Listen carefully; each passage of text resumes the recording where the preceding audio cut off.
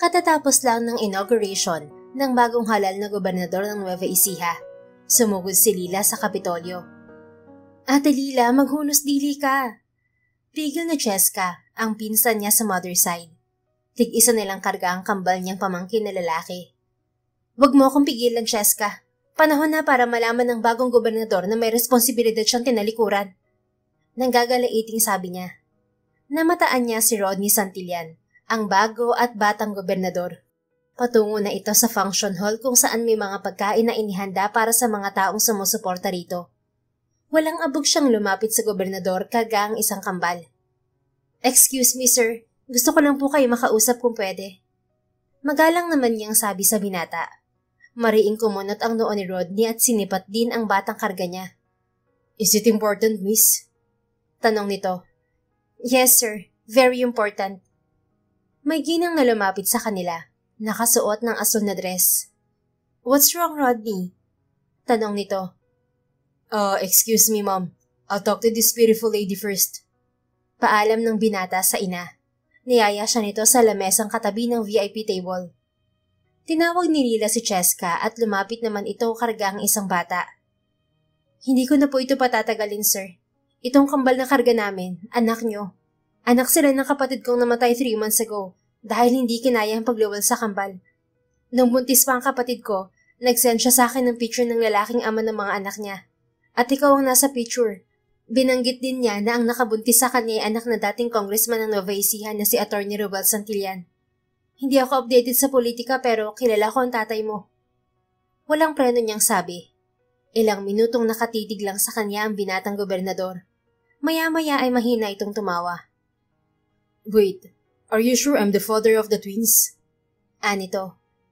Hindi po ba obvious? Kahit ipa DNA test mo pa sila, basta wag mo lang manipulahin. Sigurado ako na magiging positive. Hindi ko to sinasabi para makahutot ng pera sa inyo. Naaawa lang ako sa mga bata. Naudlot ang usapan nila nang lumapit ang ina ni Rodney. Anak, bakit parang agresibo na yung babae? May panghuhusgang tanong ng ginang. Hindi nakatiis si Lila at tumayo. Hinarang ang ginang. Mawalang galang lang po, ma'am. Nagpunta po ako rito hindi para manggulo. Gusto ko lang ipaalam kay Sir Rodney na may mga anak siya. Itong kambal na dala namin. Sabi niya. Oh my God! Shocked ang ginang at napakapit sa gilid ng lamesa nang tila hihimatayin. Mabilis namang tumayo si Rodney at inalalayan ng ina. Mom, calm down. Let me talk to the woman. Anito. Totoo ba ang sinabi ng babaeng yun, Rodney? Muling napatitig ang binata kay Lila. Tila nag-aalangan pa. Y- yes, she's right. Pagkuha ni pag-amin nito. Tuluyang nawala ng ulirat ang ginang kaya napasigaw si Rodney. Nagpatawag na ito ng ambulansya. Dahil sa kaguluhan ay hindi na ulit nakausap ni Lila si Rodney. Umalis na sila pero nag-iwan siya ng contact number at address sa binata. Dalawang araw ang lumipas. Naalimpungatan si Lila sa sigaw ni Cheska, kasabay ng kalampag sa pinto ng kanyang kwarto. Ate Lila, gising! Nayayamot na bumangon siya at pinagbuksan ng pinto ang pinsan. Bakit ba? Kumakasigaw ka parang may sunog ah. Maktol niya. Sorry, ano kasi, si Gov, nasa labas at gusto ka makausap. Eksaheradong balita nito. Ano? Teka, maliligo muna ako ng mabilisan. Papasukin mo siya. Nataranta na siya at tumakbo papasok ng banyo. Kulang pa ang tulog niya dahil napuyat kakabantay sa kambal na ayaw matulog. Kamamadali niya ay hindi na siya nagsuklay ng gabalikat na buhok. Basta lumabas na siya ng kwarto, suot ang pulang dress. Good morning. Nakangiting bati niya sa mga bisita. May kasama pang bodyguard si Rodney. Naka-black suit pa ito. Hi, pasensya na sa nangyari kahapon. Anito. Ayos lang. Napaaga kayo. Nag-almusal na ba kayo? Sinipat ni Rodney ang oras sa suot nitong relong pambisig. It's already 9 a.m. Napangiwi siya. Oo nga pala. Ako itong late na gising. Napuyat kasi ako sa kambal. It's okay. Can we talk privately? Sige, dun tayo sa kwarto. Este, sa study room. Anya sabay ngiti ng matabang. Napangiti rin si Rodney at sumunod sa kanya. Bagong gawa lang ang extension ng dalawang palabag nilang bahay, at ginawa niya itong study room na puro fiction books collection niya ang laman. Pagpasok sa study room ay umupo sila na magkatapat sa couch. May gusto lang akong linawin. Panimula ni Rodney. Ano yon? Don't tell me nagdududa ka pa rin na anak mo ang kambal kong pamangkin. Anya. The truth is, hindi ako ang ama ng kambal. Natigilan si Lila at otomatikong uminit ang bumbunan. Paano hindi ikaw ang ama? Huwag kang mag-deny. Makinig ka muna, Miss... Lila ang pangalan ko. Lila Robles. Pakilala niya. Okay, Lila. For your information, I never had an affair with a woman. At dahil sa sobrang busy ko sa law school, wala na akong time manligaw. Hinahanapan na nga ako ng parents ko na mapapangasawa at ikakasal na dapat ako. Mariing kumunot ang kanyang noo. Malinaw ang sinabi ng kapatid niya na anak ni Ruel Santilla ng ama ng mga anak nito na nakilala nito sa Japan. OFW kasi sa Japan ang kapatid niya. Paano nangyaring hindi ikaw ang ama ng mga pamangkin ko? Picture mo ang nasend sa akin ng kapatid ko. Nasa Canada ako noon. Wala akong update sa ibang ganap sa buhay niya. Matagal kami hindi nagkita kasi magkaibang bansa ang napuntahan namin. Sabi niya. Naintindihan ko, pero hindi ko maitatanggi ang mga pamangkin ko. For sure, papa-DNA test ko pa rin sila para maniwala ang parents ko. Pero ito ang gusto kong malaman mo. May identical twin ako, Lila. He lived in Japan before, but he died nine months ago. Bago siya namatay, nakita pa kami sa Japan.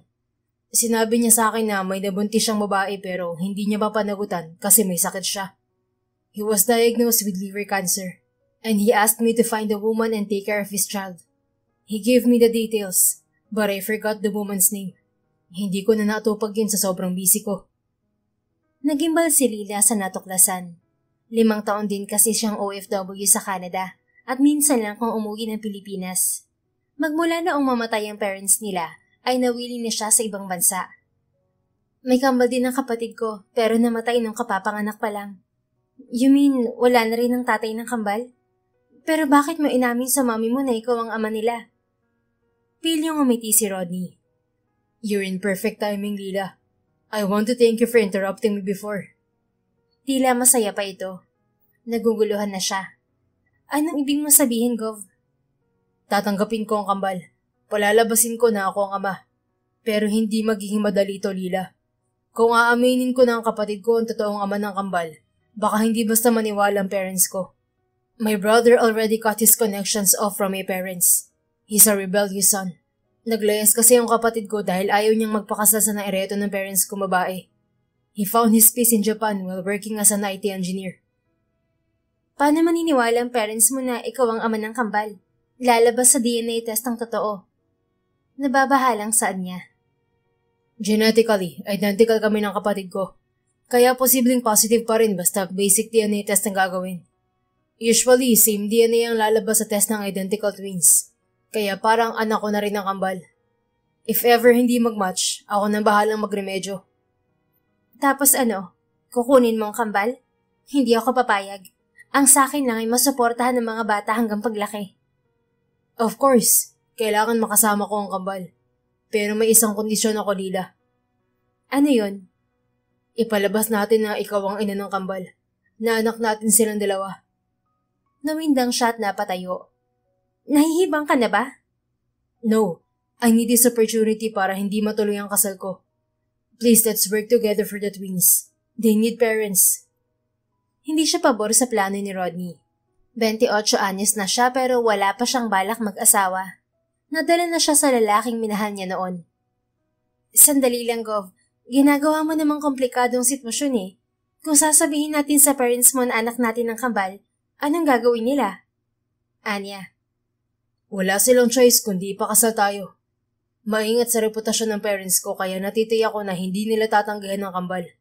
Mapipilitan din silang mag-cancel ng marriage agreement sa anak ng business partner nila. Nababaliw ka na ata, mister. Yung babaeng pakakasalan mo, nun kang papayag yun na hindi matuloy ang kasal niyo. Ang parents ko lang naman ay may gusto kay Rika at pilit kaming pinagalapit. Napahilot si Rila sa sentido at napaupong muli. Pero hindi pa rin matanggap ng sistema niya ang plano ni Rodney. Dapat ay babalik na siya sa Canada dahil lagpas na sa palugit ang bakasyong sinabi niya sa amo. Hindi ako sang-ayon sa plano mo. Guguluhin mo lang ang buhay ko eh. Ani Lila. Mahinang tumawa si Rodney. Hindi ka magkakaproblema, Lila. Ako ang bahala sa papeles ng mga bata. I'm a lawyer, remember? Dinitigan niya ng mahayap ang binata. Wala akong tiwala sa'yo. Tahimik ang buhay ko, Rodney. Gusto ka pang bumalik sa Canada. Ano ba ang trabaho mo sa Canada? Caregiver. At citizen na rin ako ron. Nice. Tamang-tama. Kailangan ko rin ng caregiver. Tumikwas ang isang kilay niya. Bakit? May sakit ka ba? Wala naman. Pero may sakit lang ba ang pwedeng alagaan? Humalukikip siya at lalong tinaasan ng isang kilay. Napansin niya na may pagkapilyo rin pala itong bagong gobernador nila. Bigyan mo muna ako ng panahon para mag-isip, Gov.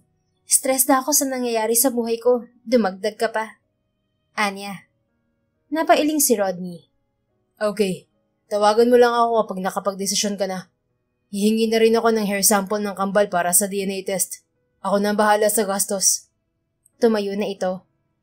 Sige. Tumayo na rin siya. Lumabas sila ng study room at pinuntahan ng kambal na natutulog sa malaking crib. Nang makabunot ng hibla ng buhok ay ibinigay niya ito kay Rodney. Thank you. Balitaan kita once na may result na ang DNA test. And think about my deal, Lila ani Rodney. Oo na. Kumuway pa ang binata bago tuluyang lumisan kasama ang tatlong bodyguards. Lunas ng umaga ay tumawag si Lila sa kanyang amo sa Canada upang sanay makiusap kung pwede siyang mag-extend ng bakasyon. Nanlumo siya nang malamang nakakuha na pala ng bagong caregiver ang kanyang amo. Hindi na ako makakabalik sa Canada. Mangiyak-ngayak niyang sabi habang nag-aalmusal kasama si Cheska. Bakit ate? Pinalitan na ako ng amo ko. Sayang naman, ang laki din ng sahod mo ron. Paano ang plano mong bibili ng bahay ron? Hindi na matutuloy. Nagastos ka ng budget sa pagpapaliming kay Hana. Pwede ka namang mag-apply sa iba. Ako na bahala sa kambal. Nababantayan ko naman ng grocery store habang inaalagaan sila. Naisip na naman niya ang deal ni Rodney. Kung sakaling tatanggapin niya yon, hindi na siya obligadong magtrabaho. Mahirap na makahanap ng bagong trabaho ngayon, Cheska. Hindi na muna ako mag-abroad. Malakas naman ang kita ng grocery store natin, di ba? Magdagdag na lang tayo ng ibang paninda. Oo, lumakas na simula nung pinalipat mo sa gilid ng gate ng store. Marami nga nagsuggest na maglagay na tayo ng bigasan at school supply kasi malapit sa school. Sang-ayon siya kay Cheska. Sige, maghahanap tayo ng supplier ng bigas. Anya. Sige ate, kasama ko naman sa pagtitinda ang bunso kong kapatid. Magbabakasyon na kaya wala nang pasok sa school. Salamat, Cheska. Pasensya ka na dahil hindi na matutuloy ang pag-abroad mo. Sayang din ang pinag-aralan mo sa TESDA. Pwede ka sanang magtrabaho sa hotel. Ayos lang yun, ate. Masaya naman ako rito eh. Malaki rin ang maitulong niya sa amin simula nang namatay si nanay. Wala na rin kaming maaasahan kay tatay dahil busy na siya sa bagong pamilya niya. Huwag mo nang isipin yun. Magtutulungan na lang tayo. Napangiti lamang si Cheska. Katatapos lang kumain ni Lila nang may bumusin ng sasakyan sa labas. Karga niyang isang kambal dahil umiyak. Lumabas siya ng bahay nang makitang bumaba ng kotse si Rodney. Pinagbuksan ito ng gate ni Gino, na kapatid ni Cheska. Doon na rin ito nakatira sa kanila. Fourth year high school na ito. Good morning, Lila. Napadaan lang ako. Nakangiting bati ni Rodney. May hawak itong brown envelope. Ang aga mo naman, Gov. Anya. May meeting kasi ako bago pumasok sa opisina. Anyway, here's the DNA test result. Nakita na to ng parents ko. Inabot nito sa kanya ang envelope. Kinuha ni Rodney ang bata mula sa kanya at kinakausap. Namangha siya nang makita ang resulta ng test. Positive nga ito. Tama ba ang result? Nagdududang tanong niya. Oo naman. Ordinary DNA test lang naman ang ginawa kanya, posible talagang positive. Ano pala ang sabi ng parents mo? Pagkawa na itanong ni Lila. Nagalit sila, lalo na si Mommy. Pero pinaliwanag ko naman ang nangyari. I mean, I lied. Tumawa siya ng pagkak. Lawyer ka nga, magaling magsinungaling. Sinapat siya ni Rodney ng mahayap na tingin. Paninindigan ko na to, Lila. You need to agree with my deal to get the support for the twins. At para magtiwala ka sa akin, gagawa ako ng kasulatan. Bibigyan kita ng isang milyon. Nanlaki ang mga mata ng dalaga. Para sa ng isang milyon? To convince you. Humagalpak siya ng tawa. Anong akala mo sa akin? Mukhang pera? Namaywang pa siya. Sandali nga, Lila. Bakit galit ka na? Wala akong ginagawang masama. Wala pa. Pero sa inaalok mong deal sa akin, may balak kang wasakin ng buhay ko, Gov. Napailing ang binata, pero nakangiti. Makikisama ka lang sa akin. Hahalagaan ng mga pamangkin natin. I mean, ang mga anak natin. Anong mga anak natin? Nagsalubong na ang maninipis niyang kilay. Let's embrace the responsibility for the twins nila. Aakuin na natin ang pagiging magulang ng mga bata. Ikaw ba, gusto mo bang lumaki sila na walang kinikilalang magulang? Natigilan siya at napatitig sa mukha ng isang kambal na karga ni Rodney. Wari pinipiga na naman ang puso niya nang maalala ang yumaong kapatid. Sige na, payag na ako. Sa wakas ay pa siya ng dalaga. Sumilay ang malapad ng ngiti sa mga labi ni Rodney. Senyales na masaya ito sa desisyon niya. Niyaya niya papasok ng bahay si Rodney upang mas makapag-usap sila ng maayos. Anong pangalan ng kambal? Tanong ni Rodney. Ang isang kambal naman ang karga nito. Iyang karga mo si Harold. Itong isa ay si Harold. Anya. Ang cute naman ng names nila. Komento nito. Hindi ko pa naaasikas ang registration ng kambal. Baka may gusto kang baguhin. Anya. Ako nang bahala. Mamayang gabi balikan ko kayo. Pupunta tayo sa bahay para makausap mga parents ko. Ginupo naman ang kaban dalaga. Agad-agad, Gov? Oo naman. Pag-isipan mo mga sasabihin mo. Baka bigla kang madulas at masabi ang hindi dapat sa parents ko. Mukhang sinasapian ka pa naman kung magsalita. Napukol niya ng mahayap na titig si Rodney. Mapang-asar din pala to. Siya naman ang mabilis mapikon. Siguraduhin mo lang na hindi ako mapapahamak sa plano mo, Rodney. Hindi tayo naglalaro dito. I know. Don't worry. My parents will be happy to see the twins. Basta maging mabait ka rin sa parents ko, magkakasundo kayo. Ay mukhang mataray ang mami mo. Mataray siya, depende sa taong kausap. Pero asahan mo na marami siyang mapupuna. She's a perfectionist. Perfectionist saan? Sa kalinisan, ugali, at sa kamasalan sa pagkain. Teka, sa bahay ba ng parents mo tayo titira kung sakaling maikasal tayo? Hindi, pero madalas nasa bahay ko si mommy. Lalo't nakatira sa akin ng lola kong ulyanin. Baka gusto mo ring mag-part-time caregiver sa lola ko. Hindi kasi kaya ng nurse minsan ng kakulitan niya. Matabang siyang umiti. Baka naman stress ang aabutin ko nito, Rodney. Natawa ang binata. Ang advance mo naman mag-isip. Wala pa nga tayo sa bahay eh. Basta, babalikan ko kayo mamaya. Maghanda ka na. Iwinalik na nito sa crib ang bata sa kalumisan. Alas 6 pa lamang ng hapon ay nakahanda na si Lila. Pulang dress lang ang suot niya. Nabihisan na rin niya ang kambal. Sa bahay ni na Rodney na sila kakain.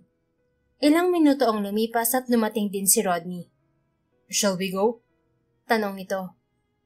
Oo, ikaw nang magbuhat sa isang kambal. Anya. Kinuha naman ni Rodney ang isang bata sa crib at nagpatiuna ng lumabas. Sumunod na siya karga na ang isang bata. May driver at bodyguard si Rodney kaya magkatabi sila sa backseat. Alam na ba ng parents mo na pupunta kami sa bahay niyo? Tanong niya. Oo naman. Si daddy pang nagsabi na imbitahin ko kayo ng mga bata for dinner.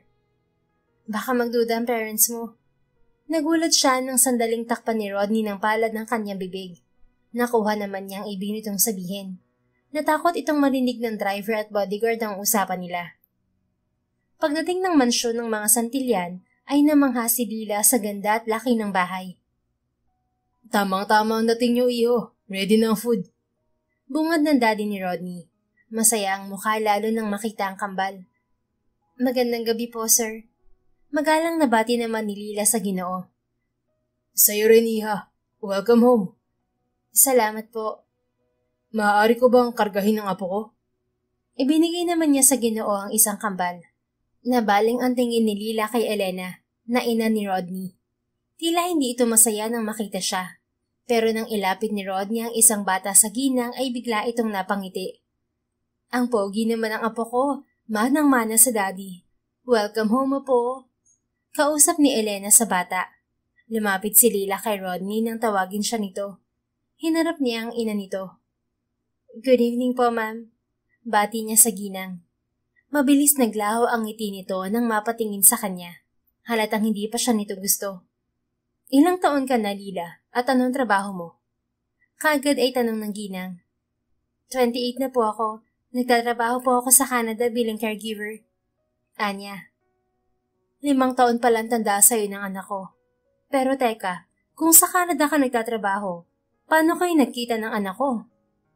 Napatitig siya kay Rodney. Ito na ang nagsalita para sa kanya. Nagkita kami ni Lila sa isang hotel sa Pasay, ma'am. Kauuwi lang niya nun mula Canada. We had a good time talking to each other and we got drunk. Ani Rodney, ang galing talaga nitong gumawa ng kwento. Akala mo'y totoo. Opo, Mabilis po kami nagkapalagayin ng loob ni Rodney. Gatong niya naman. Nawala na ako ng kontak kay Lila nun kasi bumalik na siya ng Canada. Naging busy rin ako sa law firm. Umalan ang dibdib ng ginang at muling sinipat si Lila. Pagkuwan ay ibinalik din ito ang tingin sa bata. Nakangiti ulit. Let's eat first. Pagkuwan ay paanyaya ng ginang. Sumunod na silang lahat sa dining. Pinabantay muna nila sa mga kawaksi ang kambal upang makapag-focus sila sa pagkain. What is your plan now, Rodney? Tanong ng daddy ni Gov. Magkatabi sila ng binata sa Celia at kaharap ang parents nito. I will marry Lila as soon as possible, Dad. Tura ng binata. What about your fiancé? Tanong naman ni Elena. We need to tell Rika the truth, Mom. Wala pa namang schedule ang kasal namin at alam niyo naman na hindi ko mahal si Rika. Pero umasa na si Rika na matutuloy ng kasal niyo, anak. Napabugan ng hangin ng binata. Uunahin ko pa bang pagpapakasal sa babaeng hindi ko mahal kaysa sa ina ng mga anak ko, ma'am? Mas nakakahiya yun. Ayaw niyong masira ang reputasyon ko. Pero ayaw niyo naman akong suportahan. Hindi mo rin naman mahal si Lila. Ang nangyari sa inyo ay isang pagkakamali. You can support the child and do your duties as the father. But marrying Lila may conflict with your current status. Inalipin na ng kaba si Lila nang unti-unting maghari ang tensyon sa pagitan ng mag-ina. Mukhang ipipilit pa rin ng ginang na ituloy ni Rodney ang kasal sa fiancé nito. Ayaw rin niya na kunin ni Rodney ang kambal habang kasal ito sa ibang babae. Ayoko magpakasal kay Rika, ma'am. Pinagbigyan ko lang kayo kasi masaya kayo. Pero malito. Giit ni Rodney.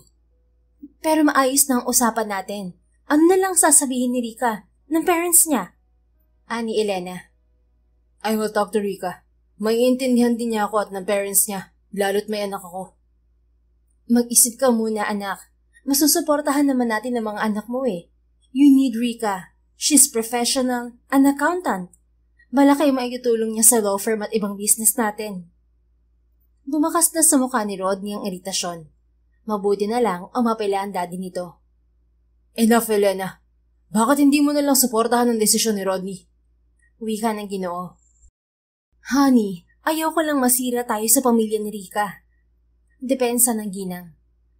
Bakit ba mas concerned ka pa sa mararamdaman ng pamilya ni Rika kaysa sa anak mo? Yan ang problema sa iyo eh. Ang gustong mo lang ang masusunod. Hindi ka pa ba nadala sa nangyari sa kakambal ni Rodney? Lumayo sa atin si Rodel dahil sa pagpilit mo na may kasal siya sa babaeng gusto mo. At wala tayong alam sa nangyayari sa kanya. Hanggang sa mamatay siya na wala tayong nagawa. Kung wala ka pa rin guilt sa sarili mo, malaki ang problema mo. At hindi ako papayag na maulit kay Rodney ang nangyari kay Rodel. Natigalgal ang ginang at maluhalohang tumitig sa asawa. Maya-maya ay bigla itong tumayo at lumisan. Tulalang napatitig si Lila kay Rodney na napapahilo sa sentido nito. Pasensya na, Lila. Hindi dapat ganito ang nangyayari. I'll talk to my wife. Kumain na lang kayo. Ani Roel. Tumayo na rin ito at sinundan ng asawa. Ilang minutong naghari ang katahimikan at nawala ang gana ni Lila sa pagkain. Kumisdot siya nang biglang pisilin ni Rodney ang kanyang kanang braso. Bakit? Paangil niyang tanong dito. Just ignore my mom. Matatanggap niya rin ang desisyon ko. Anito. Paano kung hindi? Baka magkagulo pa ang pamilya mo na dahil sa akin. Hindi mo pa pala nakakancel ang kasal sa fiancé mo.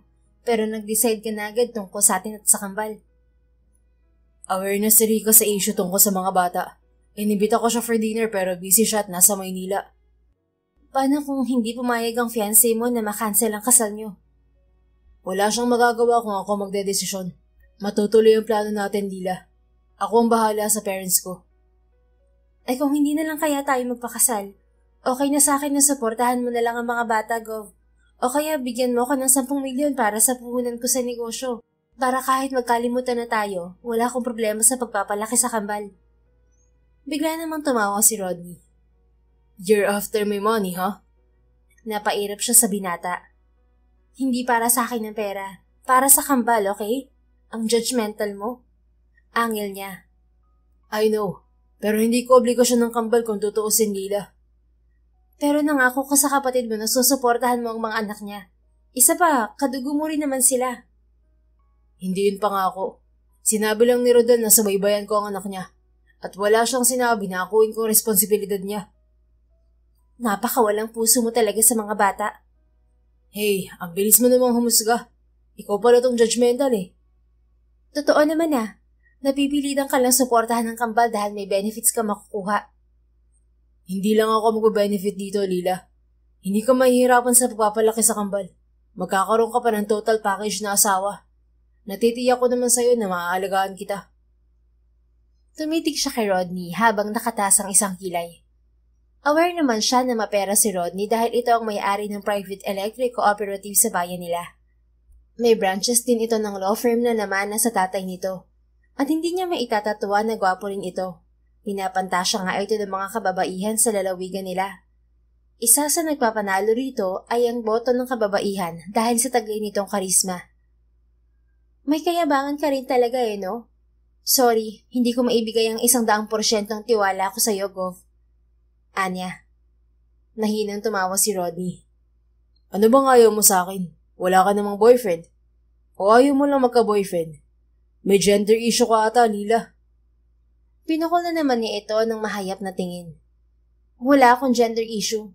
Natuto na lang ako sa lalaki na mabulaklak magsalita pero manloloko. Oh, mukhang may trauma ka sa lalaki.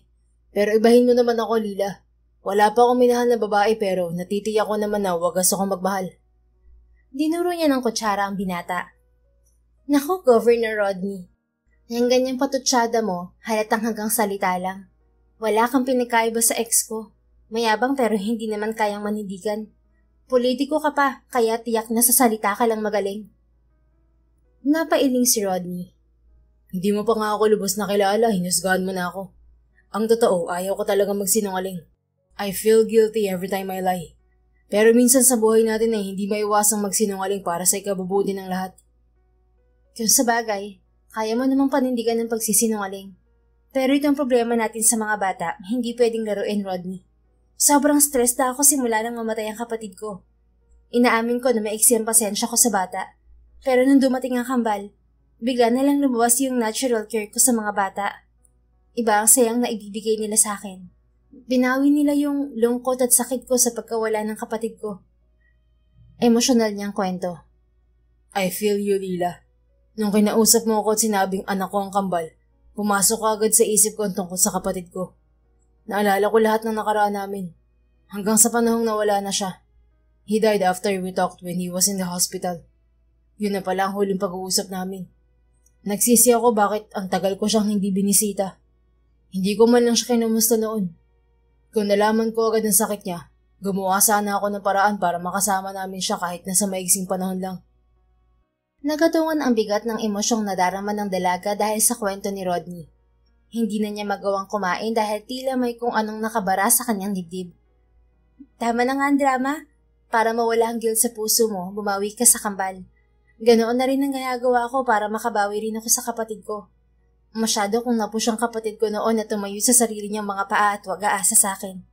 Siguro dahil sa pressure kaya lumayo siya at nakipagsapalaran din sa ibang bansa. Sa akin lang siya umaasa. Ako nakasento mo yung magulang sa kanya. Tama ka. Ito na pagkakataon para makabawi tayo sa mga kapatid natin. Huwag ka na mag-alinlangan, Lila. Magpakasal ka na sa akin para may instant parents ng kambal. Humugot ng tissue si Lila at nagpunas ng luha sa gilid ng kanyang mga mata. Ayusin mo muna ang problema sa fiancé mo. Makikisama ako sa iyo para sa kambal, pero walang pressure, Rodney. Anya. Paano ang pressure ba? Natatabang tanong nito. Magiging mag-asawa tayo eh. Baka obligahin mo ako na bigyan ka rin ng anak. O kaya paligayahin kita sa gabi. Humagalpak ng tawa ang binata. Ayaw mo bang magkaroon ng sarili mong anak at lumigaya sa gabi lalo na kapag malamig? Tigilan mo ako, Gov. Hindi ka nakakatuwa. At saka hindi pa ako ready magkaanak. Sa kambal pa nga lang, makakalbo na ako tuwing sabay silang nagtatantrums. Tapos magdadagdag pa ako. Baka mabaliw na ako niyan. Kailan ka magiging ready? Siguro palakihin muna natin ang kambal. After 10 years? Expired na ang matres mo yan, Lila. Napiko na naman siya at hindi nakapagpigil. Pinalo niya ng kutsara sa kamay ang binata. Aray! Daing nito.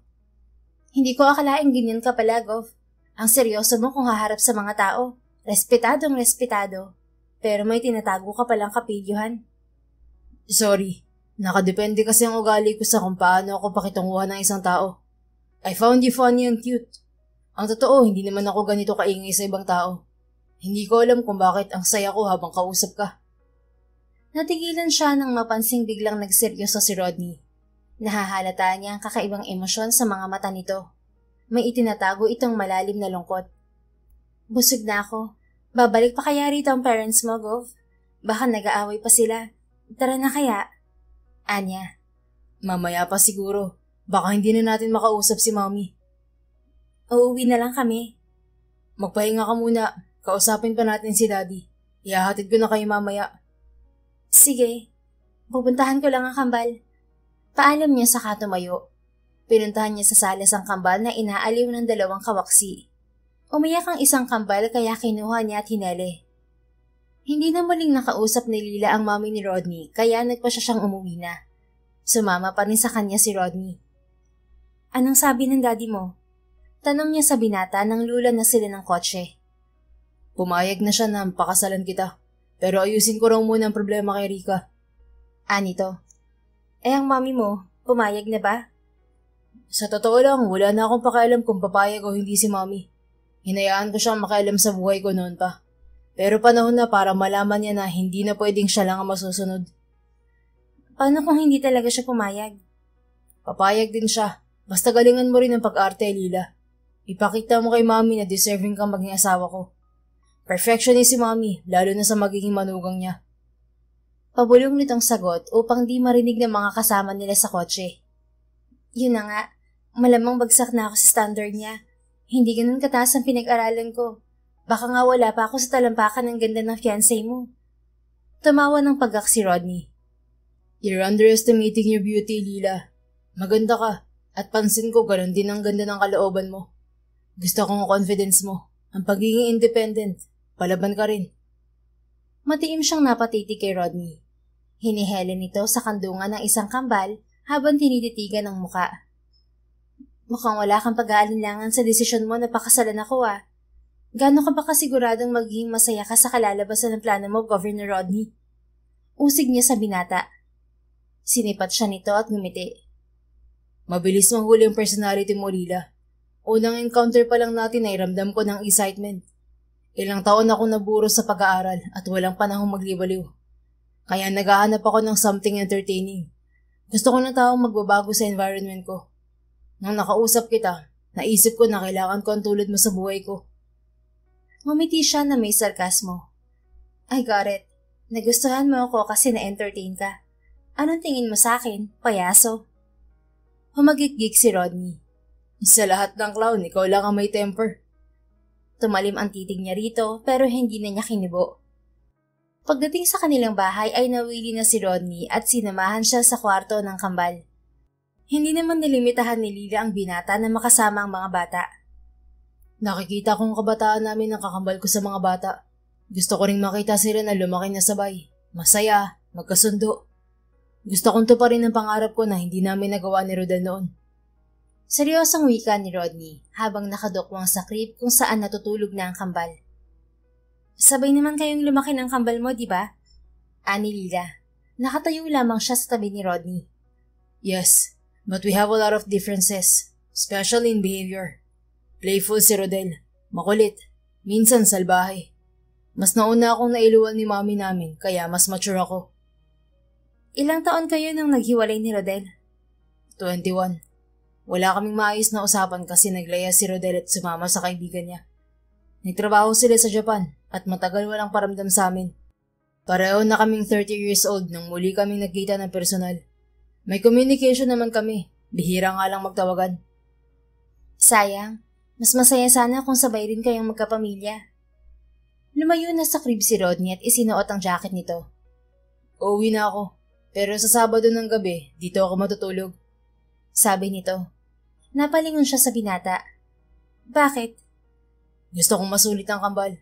Kung papayag ka naman na dun muna sa bahay ko titira, mas maganda. Hindi pa naman tayo kasal eh. Wala namang problema kahit hindi pa tayo kasalila. Malaki naman ang bahay ko. Magkakaroon ka ng sariling kwarto. Mas matututukan natin ng mga bata kung magkasama tayo. Para masanay sila at isipin na tayo ang parents nila. Sabihin mo muna sa parents mo yan. Baka mamaya magwala ang mami mo kapag nakita ako sa bahay mo. Ako na ang bahala. Basta Sabado ng gabi, dito ako matutulog. Linggo naman ng hapon, lilipat na tayo sa bahay. Okay ba sa'yo yun? Ilang sandali siyang napaisip bago na kumbinse. Sige na, pero tiyakin mo na walang magiging problema, okay? Anya. Sure, aalis na ako. Good night. Napatras si Lila nang bigla siyang lapitan ni Rodney at sana'y hahalikan siya sa pisngi. Hoy, anong ginagawa mo? Singhal niya rito sabay tulak sa dibdib nito. Mahinang tumawa si Rodney. Bakit? Nagpapaalam lang ako. Nagpapaalam? Pero bakit may kiss? Practice lang. Once nakasal na tayo, kailangan nating ipakita sa mga batang sweetness natin para maniwala sila na tayo ang parents nila. Ganon din sa ibang tao. Asus, palisod ka pa eh. Sige na, uwi ka na, baka abutin ka pa ng hating gabi rito. Wait, don't tell me iniiwan mo mga bata na walang kasama sa kwarto. Ani Rodney. May kasama sila, si Cheska, yung pinsan ko. Dito siya natutulog. Ah, okay. Aalis na pala ako. Kumaway pa ito.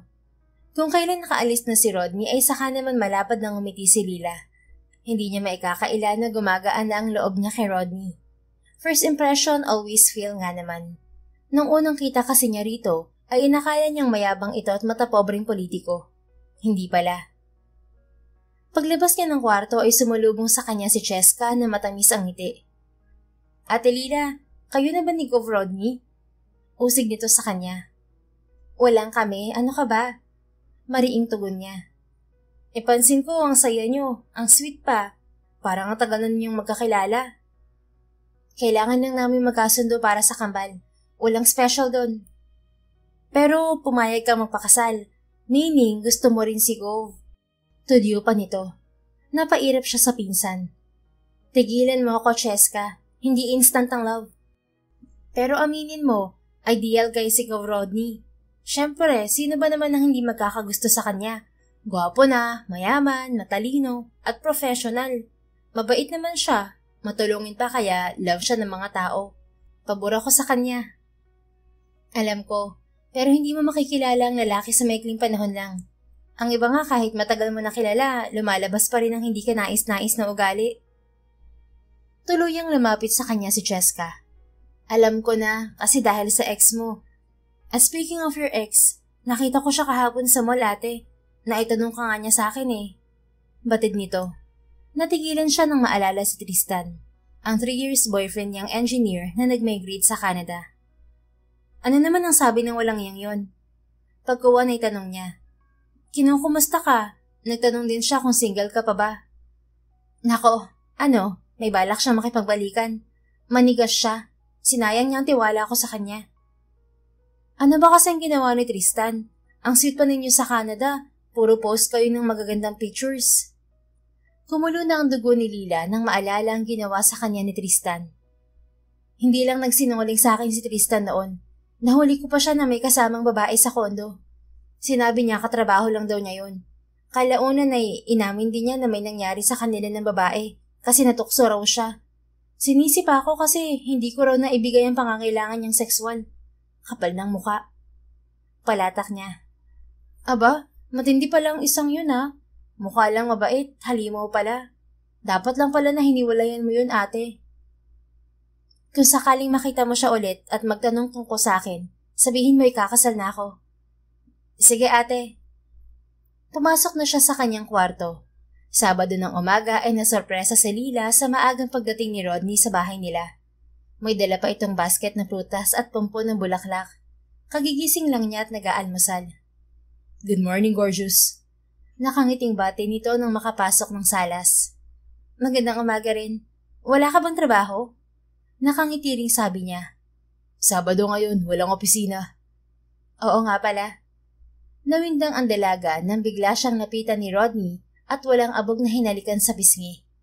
Automatikong naghuhurumentado ang kanyang puso sa hindi maipaliwanag na dahilan. For you, para maghapong maganda ang mood mo. Ani Rodney sabay abot ng bulaklak at basket ng prutas. Tulalang nakatitig siya sa gwapong mukha ng binata. Dahil sa tagal niyang kumilos ay inilapag na nito ang basket sa misita, pero ipinilit ang bulaklak sa kamay niya. Salamat. Nautal niyang wika ng mahimasmasan. Mukhang kagigising mo lang, wala ka pa sa wisyo eh. Amused nitong sabi. Kagigising ko nga lang talaga. Akala ko mamayang gabi ka papupunta eh. Inilapag din niya sa mesita ang bulaklak at kinuha ang basket ng prutas. Kain tayo. Paanyaya niya sa binata. Tapos na akong kumain. Nasaan ang kambal? Nasa kusina. Bumalik siya sa kusina kasunod si Rodney. Nilapitan nito ang kambal na nakahiga sa crib at nilaro ang mga kamay ng mga baby. Umupo naman siya sa harap ng lamesa at itinuloy ang pag-aalmusal. Ano nang balita sa ex mo, Rodney? Nakausap mo na ba siya? Usisa niya. Nasa US siya, pero sinabi ko na hindi matutuloy ang kasal namin. Anong sabi niya? Hindi siya naniwala. Mag-uusap na lang kami pag uwi niya. Ginupo naman siya ng kaba nang maisip ang maaaring magkagulo sakaling makauwi ang fiancé ni Rodney. Mukhang magkakaproblema tayo. Panindigan lang natin ang plano at magiging maayos din ang lahat, Lila. Aaminin din naman natin ang totoo pero dapat ay maikasal muna tayo. Nakausap ko na si Mami at hindi na siya tumututol. Pero sabi niya, dapat sa bahay natitira ang kambal at ayaw niya na nakabukod ang mga apo niya. You mean sa bahay ng parents mo? Sa bahay ko. Pero bibisita rin tayo madalas sa bahay ng parents ko. Malapit lang naman yun. Magkakasundo rin kayo. Hindi pa rin maalis ang kaba sa puso ng dalaga, lalo't may bahid ng kasinungalingan na pagsasama nila ni Rodney. Paano kung matuklasan ng mami mo na nagpapanggap lang tayo? Baka bigla niya akong palayasin at magalit siya sa'yo. We life for the twins' future, Lila. At hindi to pang matagalan. Walang problema sa relasyon natin. Matututuhan din nating mahalin ang isa't isa. Napatitig siya kay Rodney na seryoso habang nakatitig sa mga bata.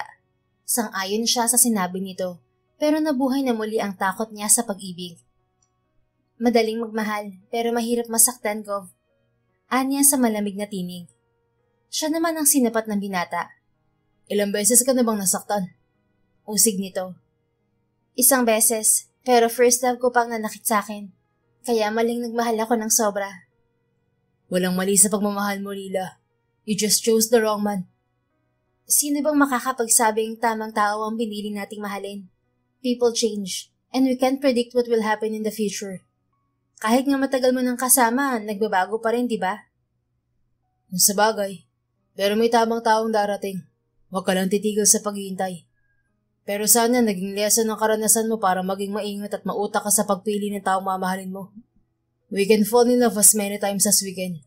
But spending more time to the wrong person will waste our efforts na dapat ay ginugugol natin sa tamang tao.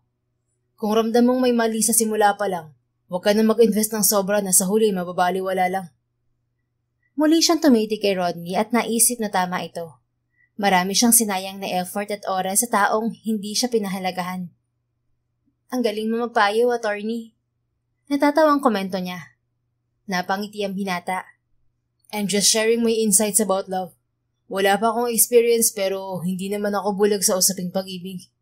Marami ako natutuhan based sa observation ko at karanasan ng ibang taong nagsishare ng kwento sa akin. Alam kong hindi lahat ay swerte sa love. Nahihirapan ako makarelate minsan dahil namulat ako sa parents ko na manipulado ang kapalaran sa pag-ibig. Bakit? May problema ba sa pagsasama ang parents mo? Before, yes. Maraming problema. Bago ikinasal ang parents ko, pareho silang may karelasyon. At dahil sa arranged marriage, iniwan nila mga taong yun. Pareho silang nasaktan sa desisyon ng parents nila. Nauuso kasi na ng arranged marriage lalo na sa maimpluwensyang pamilya. Matagal bago natutuhan ng parents ko na mahalin ang isa't isa dahil sa past relationship nila. Inamin din ng dad ko na kahit ilang taon nang lumipas, hirap pa rin siyang kalimutan ng first love niya. Nag-focus lang siya kay mami nang pinanganak kami ng kapatid ko. Doon pa lang umusbong ang pagmamahal nila ni mami. Napagtanto ni Lila na halos pareho ang family history nila ni Rodney. Ang mga magulang niya ay nagsama rin dahil sa arranged marriage. Same lang sa nangyari sa parents ko. Ang kaibahan lang, mabilis natutuhang mahalin ng mga magulang ko ang isa't isa. Magkababata kasi sila kaya hindi na mahirap makisama. Ang kagandahan lang ay parehong single ang mga magulang ko noon. Ang papa ko lang ang may kaya at nagkataong kaibigan ng lolo ang lolo ko sa mother side. Pero sana hindi pinaranas ng parents mo sa'yo ang dinanas nila noon. Hindi na naisip ng parents ko ang past nila dahil naging successful naman ang arranged marriage nila. Iniisip nila na makabubuti rin yun sa amin lalo't priority na nila ang legacy ng akan namin. Mabuti hindi ganoon ang parents ko noon at saka minor pa kami nung mawala sila. Maswerte pa rin ang parents mo. Pero bakit ang aga naman nilang nawala? May kurot pa rin sa kanyang puso sa tuwing naaalala ang pagkawala ng parents niya na magkasunod. Ang mama ko kasi ay na-diagnose na merong stage 3 leukemia at late na nalaman. Sobrang na-depress noon si Papa. Naubos ang ari-arian namin dahil sa sakit ni Mama.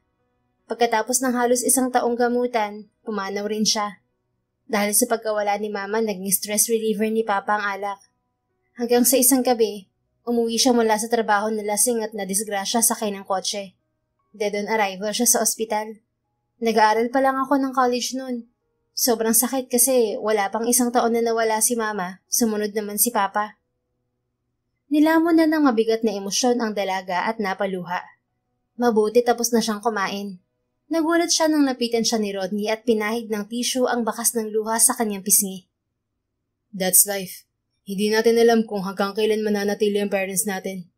Kaya minsan, kahit ayaw ko sa desisyon ng parents ko, Tinatanggap ko kasi masaya sila. At ayaw kong mawala sila na hindi kami okay. Anito. Pero ikaw naman ang hindi masaya. Sa totoo lang, Lila, wala akong pakialam nun kung magiging masaya ako hindi sa future. Kasi priority ko ang parents ko. Nasanay ako sa pressure simula nung nag-aaral ako. Ayokong ma-disappoint ng parents ko. Kasi sobrang taas ng expectation nila sa akin. Gusto nilang maging katulad ako ng anak ng kung sinong kakilala nila. May diwala ako sa kanila kaya nagpaubaya ako kung anong gusto nila. Naisip ko na makakapag-adjust ako. Mamahalin din ng babaeng pipiliin nila para sa akin. Pero narealize ko na darating din ang araw na pipiliin ko muna ang sarili ko.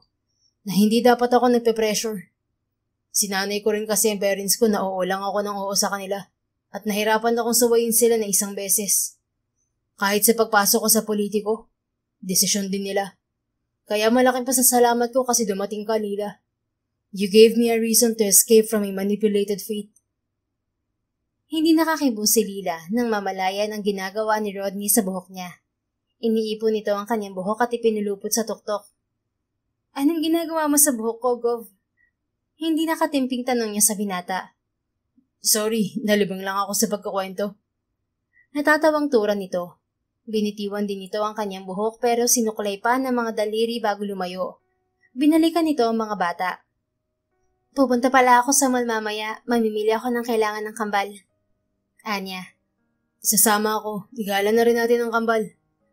Sige, pero baka mahirapan tayong kumilos. Magsama tayo ng pinsan mo. Si Gino na lang, yung kapatid ni Cheska. Wala naman siyang pasok sa school. Tumayo na siya at naglikpit ng pinagkainan. Pagkatapos magligpit sa kusina, ay pinagtulungan naman nila ni Rodney na paliguan ng kambal. Tuwang-tuwa ang binata sa pag-aasikaso sa mga bata. Kitang-kita ang walang kawangis nitong saya. First time mo bang magpaligo ng baby ko? Tanong ni Lila. Nasa banyo sila ng kwarto ng kambal. Yes, and it's exciting. Anito, aliw na aliw pa ito sa pagsasabon ng munting alaga ni Baby Harold. May kanya-kanyang baby tabang kambal Maya-maya ay napasigaw si Rodney nang sumirit ang ihi ng bata. Kamuntik pa itong matamaan sa muka. Hey, wala bang morning, baby Harold? Anito. Humagalpak na tawa si Lila ngunit bigla ring tumigil nang pahiran ni Rodney ng bula ng sabon ang kanyang pisngi. Kamuntik pang malagay ng sabon ang kanyang bibig. Ang sama mo! Angal niya sa binata. Bakit kasi ang lakas ng tawa mo, Lila? Nagpapatawa ka eh. Nilalaro mo pa ang ano ng bata, naihituloy siya. Tama na nga harutan. Banlawan na natin ang kambal. Sabay na nilang binanlawan ng mga bata. Pagkatapos ay pinahiga nila ang mga ito sa kama na merong saping makapal na tuwalya. Nabaling ang atensyon ni Lila kay Rodney na biglang maghubad ng kamiseta. Napako na ang titig niya sa matipuno nitong dibdib. Kumisnot siya nang pisilin ng binata ang kanyang pisngi. Ang mata mo, Lila. Kakatitig mo sa dibdib ko, baka magkabibi tayo ng wala sa oras. Biro nito. Tinapik niya ang kanang braso nito. Ang arogante mo, magbihis ka nga. Mamaya na, maligo ka na. Ako nang bahala sa kambal. Marunong ka ba magsuot ng diaper sa bata? Uh, I will try. Pinanood niya si Rodney habang sinusuotan ng diaper ang isang baby. Natawa siya dahil nakailang ulit na ito. Tinuruan na lamang niya. Mabilis naman itong natuto. Nang mabihisan ng kambal ay naligo na rin siya. Nakabihis na rin si Rodney at may baon pala itong damit. Let's go, Lila. Excited na paanyaya ng binata. Sandali lang naman, nagbibihis pa ako. Pasigaw niyang tugon habang nasa loob ng banyo. Maya-maya ay biglang bumulahaw ng iyak ang isang bata kaya nataranta siya. Napatakbo siya palabas ng banyo. Karga na ni Rodney ang isang bata at pinatatahan. Anong nangyari? Balis ang tanong niya. Sa halip na sagutin siya ay napako ang titig ni Rodney sa gawin ng kanyang dibdib. Napatingin naman siya sa dibdib niya at biglang tumalikod. Hindi pa pala niya naibotones ang kanyang blouse. Nasilip tuloy nito ang kanyang cleavage. Kainis ka. Inapura mo kasi ako. Asik niya habang nagbobotones ng damit. Tumawa pa ang lalaki. Tinawag lang naman kita, Lila. At bakit umiyak si Harold? Natamaan siya sa mata ng kamay ng kapatid niya. Sabi ko sa'yo, lagyan mo ng bilog na unan sa gitna kasi malikot ang isang kambal. Hinarap din niya si Rodney nang maayos na ang kanyang damit. Abuhing denim pants lang ang suot niya pang ibaba. Nagsuklay na rin siya ng buhok. Ikaw na magbitbit ng bag ng kambal. Mga diapers at dede nila ang naman yan. Anya, isinabit niya sa balikat ni Rodney ang shoulder bag ng kambal. Meron din naman siyang shoulder bag at tig isang bata sila ni Rodney. Kasama naman nila si Gino na taga-bitbit ng kung anong mabibili nila. Nang lula na sila ng kotse ay si Gino ang katabi ni Lila sa backseat. Walang driver o bodyguard si Rodney kaya ito ang nagmaneho. Pagdating naman ng mall ay tumuloy na sila sa bilihan ng gamit ng bata. Konting damit lang ang bilhin mo, Rodney. Mabilis lang lumaki ang kambal. Saglit lang nila masusuot ang mga yan. Anya habang pinapanood ang binata na namimili ng damit. Malalaki naman ang bibili natin para mas matagal nilang magamit. Hindi na siya tumutol dahil nag enjoy ang binata sa ginagawa. Habang namimili ng maliliit na sapatos ay biglang may lumapit na lalaki sa kanya. Hi Lila. Bati ng lalaki. Napalingon ang dalaga sa kanyang kaliwa at nawindang nang makita si Tristan, ang ex-boyfriend niyang agresibong makipagbalikan. Tristan, akala ko bumalik ka na sa Canada. Kaswal niyang wika. Nakamove on na siya at inis na lang ang nararamdaman niya rito. Sa Monday pa ang flight ko. Pumunta ako sa bahay niyo nung isang araw pero sabi ng pinsan mo, tulog ka. Busy ako sa pag-aalaga sa mga anak ko. Pilyong tumawa ang binata. You can't fool me, Lila. Anak ng kapatid mo yung karga mo. Anak ko na rin sila. Okay, sabi mo eh. Pero baka pwedeng mausap muna tayo. Wala tayong dapat pang pag-usapan, Tristan. Hindi mo pa rin ba ako napapatawad? Pinatunayan ko naman sa'yo na nagsisisi na ako ah. Pinatawad na kita, pero hindi ibig sabihin nun ay bibigyan na kita ng chance. Minsan mo na akong dinurog, at ngayong nabuo ako ulit, wala na akong ibibigay na chance sa'yo. Mag-move on na tayo. Iiwasan sana niya si Tristan, ngunit pinigil siya nito sa kanang braso. Kamuntik na niyang mabitiwan ng bata kaya napatili siya. Nagulat siya nang biglang tumalsik si Tristan. Ay tinulak pala ito ni Rodney. Rodney, wag mo siyang patulan. Pigil niya nang itulak din ni Tristan sa dibdib si Rodney. Naeskandalo na sila at may ilang taong kinuhanan sila ng video. Kilala pa naman si Rodney, lalo't bagong halal ito na gobernador ng bayan nila. Maayos naman itong kinausap si Tristan. Hindi ko alam kung anong intensyon mo kay Lila, pero masyado akong agresibo, sir. May kargang bata ang kinukulit mo. Magalang pa rin sabi ni Rodney. Nakikipag-usap lang ako. At sino ka para itulak ako bigla? Belta naman ni Tristan. I'm Lila's fiancé. Kanina ko pa kayo napapansin pero nagtimpi ako na wag makialam dahil akala ko kaibigan ka lang ni Lila. Fiancé? Tumawag si Tristan. I remember you now. You're attorney Santillan. Ikaw ang fiancé ng pinsan kong si Rika. Ikaw din ang bagong governor dito. Kaya hindi ako naniniwalang fiancé ka rin ng ex-girlfriend ko. Nawindang si Lila sa revelasyon ni Tristan. Maging si Rodney ay nagulat pero hindi nagpa-apekto. Wala na kami ni Rika at cancelled na ang kasal namin. Depensa ni Rodney. Ang bilis naman. Namamonitor ko ang status ni Lila at alam ko na wala siyang boyfriend. Hindi ko alam kung ano nangyari pero natitiyak ko na may mali rito. Hindi nakatiis si Lila at nakialam na sa usapan. Stop stalking into my life, Tristan. Umuwi ka lang ba ng Pilipinas para guluhin ako? Anya. Wala akong balak manggulo, Lila. Umaasa lang naman ako na mabibigyan mo ako ng chance. Ani Tristan. Pwes, wala ka nang aasahan. Totoo ang sinabi ni Rodney. Fiancé ko siya at malapit na kaming ikasal. Hindi ba siya ng social media ko para ipilit mo ang gusto mo na single pa rin ako? Matabang nang umiti si Tristan at dismayadong tinitigan siya. Nang may dumating na security personnel ay umalis din ito. Nagsialisan din ng mga taong nakikiosyoso. Dahil sa eskandalo ay hindi na sila nagtagal sa mall at umuwi rin matapos mabili ang kailangan. Pagdating ng bahay ay sakalang kinausap ni Lila si Rodney. Kinakabahan ako, Rodney. Paano kung may natuklasan na pala si Tristan tungkol sa sekreto natin at bigla na lang niyang sabihin kay Rika? And worst, baka ipagkalat nila sa social media. Baka masira ang pangalan mo. Nababahalang saad niya. Nasa kwarto na sila ng kambal at inayos ang mga nabiling gamit. Walang malalaman si Tristan kung wala kang ibang pagsasabihan tungkol sa plano natin. Anito. Wala naman pero nasabi ko kay Cheska na magpapakasal tayo para sa kambal. E nakausap ni Cheska si Tristan. Madadal pa naman ang pinsan ko at hindi namamalayan ng nagkakwento na ng hindi dapat sa iba. Huwag mo intindihin si Rika. Kahit magprotesta siya, wala siyang magagawa.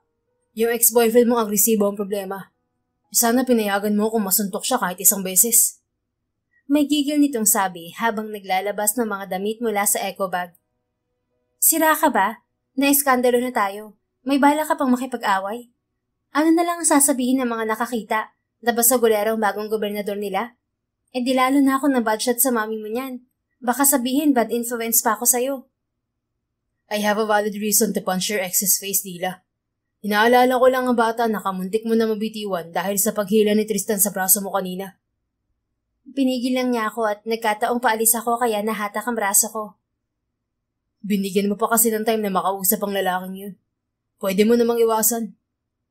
Umiwas na nga ako, di ba? Pero ang tagal niyo pang nag-uusap. Napaboga siya ng hangin at hindi na ginatungan pa ang init ng ulo ni Rodney. Humupa rin naman ang init ng ulo nito makailang minuto. Ito pa ang nagluto ng tanghalian nila. Maaga tayong pumunta sa bahay bukas nila. Naghihintay na si Mommy. Sabi ni Rodney nang kumakain na sila. Dadaan ba muna tayo sa bahay ng parents mo? Tanong niya. Yes, doon tayo magla-lunch. mag na pala ako ng gamit mamaya. I will help you. Tumangwala mong siya at itinuloy ang pagsubo ng pagkain. Pagkatapos ng hapunan ay pumayag si Lila na sa kwarto ng kambal sila matulog ni Rodney. Matapos mapatulog ang mga bata ay nag-impake na sila ng gamit ng mga ito. I didn't see it coming. To become an instant parent. Amused na wika ni Rodney habang nagtutupi ng maliliit na damit ng bata. Magkatabi sila nitong nakaupo sa gilid ng kama. Ako rin. Wala sa plano ko na magkaanak after ng breakup ko sa ex ko. Pero nung nawala ang kapatid ko, natagpuan ko na lang ang sarili ko na inaako ang pagiging ina sa kambal. Pero hindi ko iniisip na makipagrelasyon pa sa lalaki. Anya.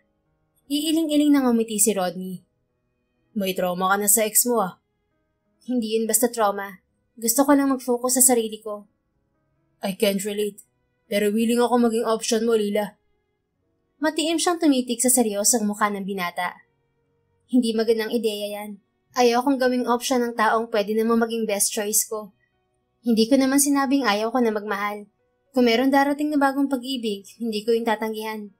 Pero sa pagkakataong to, magiging mautak na ako. Kung sakaling may chance ulit ako magmahal, gusto ko mag-settle down na. Tumatanda na ako para makipaglaro. We can learn to love each other, Lila. Muli siyang napatitig kay Rodney at hindi naawat ang kakaibang sikdo sa kanyang puso. Bigla siyang ginupo ng pananabik, ngunit idinaan niya sa tawa ang nararamdaman. Madaling pumasok sa relasyon pero mahirap manindigan. Sabi nga ng iba, sa simula lang masaya ang relasyon. I know, but having a happy relationship was a choice. Pwede naman tayo magsimula sa friendship para mas makilala pa natin ang isa't isa. Hayaan nating ma-develop ang feelings natin without pressure. Lalo naman siyang nasabik sa ideya ni Rodney. Okay lang sa akin basta walang komplikasyon. Ayoko ng stress, Gov.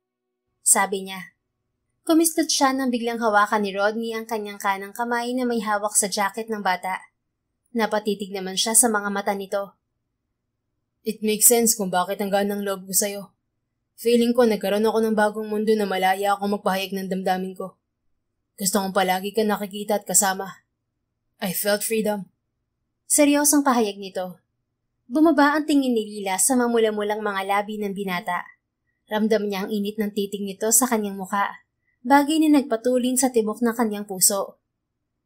Masyadong mabilis, Rodney. Baka binubola mo lang ako para hindi magbagong isip ko. Seryoso ako, Lila. Matanda na rin ako para mandigaw biro. Gusto ko ng relasyong pangmatagalan. Kailan lang kita nakilala pero nakikita ko ang future ko sa'yo. Masaya ako sa tuwing naiisip na magiging isang pamilya tayo. Napatda siya at hindi nakaimik. Nanatili siyang nakatitig sa mga mata ng binata. Hindi niya namalayan ang paglapit ng mukha nito sa kanya. Naramdaman na lamang niya ang init ng mga labi nitong lumapat sa kanyang bibig. Isang katok sa pinto ang umabala sa kanila. Mabilis tumayo si Lila at lumapit sa pinto at binuksan. Si Cheska pala ang kumatok. Pasensya na sa abala, Ate Lila. Ihahatid ko lang tong hot water para sa gatas ng kambal. Ani Cheska at inabot ang thermos. Salamat. Matulog ka na. Anya. Sige po, kayo rin. Umalis din kaagad si Cheska. Hindi na kinibo ni Lila si Rodney at inasikaso ang gatas ng kambal. Naunang humiga sa kama ang binata, pero dilat ang mga mata at sinusundan siya ng tingin. Matulog ka na, Gov. Maaga pa kamo tayo bukas sa alis. Sabi niya. Paano ako makakatulog? Nadidistract ako sa presensya mo. Huwag mo kasi akong tingnan. Nagagandahan ka ba masyado sa akin? Kahit naman hindi kita tingnan o nakapikit ako, nakikita pa rin kita. Hindi ko maalis sa isip ko. And yes, you're pretty. Sinipat niya si Rodney habang natitigilan sa kanyang ginagawa. Iba na yan, Rodney. Baka masanay ako at mag-assume sa patotsyada mo. Humagigik ito. Hindi ka ba naniniwala sa love at first sight, Lila? In your case, no. Imposibleng ma-inlove ka kagad sa akin. Let me prove it to you, Lila. I know words are not enough. Kumibit balikat siya. Gawin mo na lang, matulog ka na. Antok lang yan. Tumahimik din ang binata at pumikit na nga. Kinabukasan ay naalimpungatan si Lila dahil nagising siya sa yakap ni Rodney. Pero sa halip na umiwas ay tila napako na ang kanyang katawan sa bisig nito. Nagising na rin ito at diretso ang titig sa kanyang muka. Good morning, gorgeous. Paus nitong bati. Humigpit pa ang yakap nito sa kanya. Naiipit ako, go. Angal niya. Pinakawalan din siya nito. Bumangon na siya at naghanda ng almusal. Pagkatapos ng almusal ay bumiyahe na sila patungo sa bahay ng parents ni Rodney. Nakaabang na pala ang mommy nito pagdating ng bahay. Welcome ho mga apo. Masiglang bati ng ginang nang makapasok sila ng lobby. Good morning po. Magalang na bati ni Lila sa ginang. Tipid itong umiti at kaagad na binuhat si Baby Herald. Ramdam pa rin niya ang mailap nitong atensyon. Kailan niyo balak magpakasal, Rodney? Tanong ni Elena. Nagkatinginan pa sila ng binata. Ah, sikasuyin pa po namin ni Lila ang papeles para sa kasal, ma'am. Huwag niyong patagalin. Marami nang nakakaalam na may anak ka. Alam mo naman ng ibang tao. Hindi pa alam ang buong kwento, puro negatibo na ang komento. Yes, ma'am. Next week din nilalakarin namin ng papeles. Kahit papaano ay napanatag si Lila. Hindi na kumontra ang mami ni Rodney. Pagsapit ng tanghalian ay napag-usapan ng mag-anak ang tungkol sa kasal. Masyadong sensitibo pagdating sa reputasyon ng pamilya ni Rodney, kaya inapuran ang kasal nila. Kami na ang bahala sa gastusin, anak. Ang mahalaga ay may kasal kayo ni Lila. Wika ni Ruel. Salamat, Dad. Kahit sa West lang muna sana ang kasal. Kung kaya namang sa simbahan na, bakit hindi? Basta maayos lahat ng papeles niyo, mabilis na lang ang proseso. Kayo po ang bahala. Mag-hire ka na rin ng yaya ng mga bata para hindi kayo mahirapan, Rodney. At saka para makatulong din si Lila sa law office at kapag kailangan mo siya sa munisipyo. Sabad naman ni Elena. Nabaling ang atensyon ni Lila sa ginang, ngunit naunahan siya ni Rodney sa pagsasalita. Ma'am, hindi na kailangan magtrabaho ni Lila. Sa pag-aasikaso pa lang sa kambal ay doble na ang pagod niya. Ayaw ko rin umasa sa ibang tao pagdating sa pag-aalaga sa mga bata. Ani Rodney. Ikaw lang ang kakayod, ganon? Wala naman pong problema. Ako ang lalaki at kaya kong itaguhid ang pamilya ko. Mas panatag ako na nasa bahay lang ang mag-ina ko. Kung gusto ni Lila magtrabaho, hindi ko naman siya pipigilan. Sobra-sobra na ang kinikita ko para makapag-provide ng kailangan ng mga bata. Hindi umimik si Lila, pero nanliit siya sa kanyang sarili. Wala nga naman siyang mailalatag na mataas na panag-aralan. Mabuti na lang, ipinaglaban ni Rodney ang side niya. Proud pa ito na independent siya. Hindi ako makikialam, basta hindi ka may stress sa buhay may asawa at maaalagaan ng maayos sa mga apo ko. Ani Elena. Umapila na ang dalaga. Huwag po kayong mag-alala, Mommy. Priority ko po ang mga bata. Kahit naman sa bahay lang ako, marami ako naiisip na negosyo. Nag-invest ako sa online selling at katuwang ang pinsan ko sa tindahan.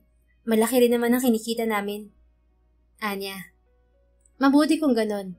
Kahit sa bahay ang babae, kung mayroong pagkakataon na magnegosyo, gawin nyo. Iba pa rin yung may sarili kang pera kahit pa malaking kinikita ng asawa mo. Maging praktikal ka rin. Naiintindihan ko po. Nasanay naman ako na sarili ko lang inaasahan. Kaya gusto ko rin may sariling income ako. Hindi po ako magiging pabigat kay Rodney. Tatango-tango lang ang ginang. Napatingin si Lila kay Rodney na malapad ang ngiti habang nakatitig sa kanya. Halatang proud ito sa kanya. Pagkatapos din ng tanghalian ay umuwi na sila sa bahay ni Rodney. Hindi inaasahan ni Lila na magugustuhan kaagad siya ng lola ng binata.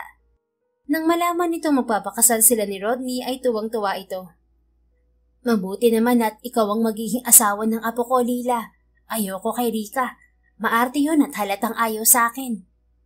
Nakangiting sabi ni Lola Olivia. Nasa malawak na lobby na sila ng dalawang palapag na bahay. Aliw na aliw naman ang dalaga sa kakulitan ng matanda. Nagkwento na ito tungkol sa kalokohan ni Rodney noong bata. Naalala pa pala ng lola mo ang kalokohan mo ng bata ka, Rodney. Tudyo niya sa binata. Ganyan naman si Lola. Puro kalokohan ko lang ang naaalala, pero ang kasalukuyan ay mabilis niyang nalilimot. Tingnan mo mamaya, magtatanong na naman yan ang pangalan mo ani Rodney na nakangiti.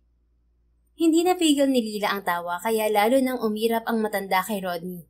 Naging childish na ito at matampuhin. Mabilis itong mag-iba ng mood, pero mas gusto nitong sa apo pumisan kaysa sa mga magulang ni Gov. Kahit naman makulit niyang apo ko nung bata, sobrang sweet niyan. Inaalagaan ako niyan sa tubig may sakit ako.